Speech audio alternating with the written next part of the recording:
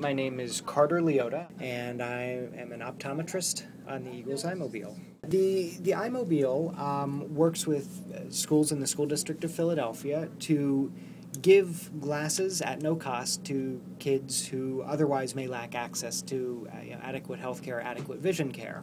A lot of the kids that we see, their lives are incredibly complicated. Um, their parents' lives are incredibly complicated. And vision actually falls pretty low on a priority list uh, when it comes down to it. Um, you know, if your electricity is being shut off and your car is being repossessed, and you know the last thing you're thinking is, hey, my child may have problems seeing out of just one eye. We, we go to a different school every day over the course of the school year, um, from about mid September to the beginning of June. When, when kids, um, you know, can't see, they can't read. When kids can't see the blackboard, they can't learn. So, um, you know, just getting glasses on kids in general has, uh, I think, a tremendous impact on, uh, on learning. Um, the other thing, though, that we do is, uh, you know, we're out looking for eye disease that might otherwise go un- undiagnosed and eye problems that may not have been seen as problems previously. Um, you know, kids with uh, severely crossed eyes, for example. Um, you know, perhaps perhaps the parents think that's normal, or that's just kind of par for the course, or there's nothing that can be done about it, and that's something that can impact a child's self-esteem, and uh, you know, not to mention just their vision in general.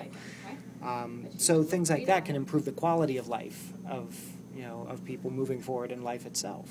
So the idea for the Eye Mobile came from Jermane Mayberry. This was, I believe, 1996.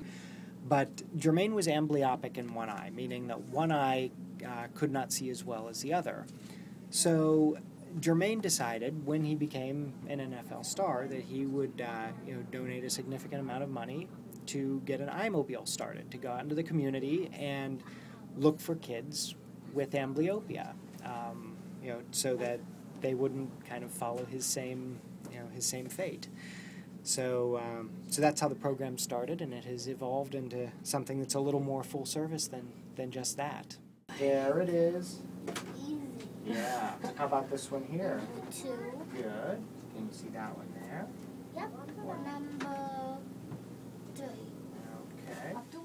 This is the best job I've ever had. I, I love every minute of, of what I do, and it's uh, you know, the kids are great. The the working conditions are great. My team is great. Um, you know, it's it's terrific.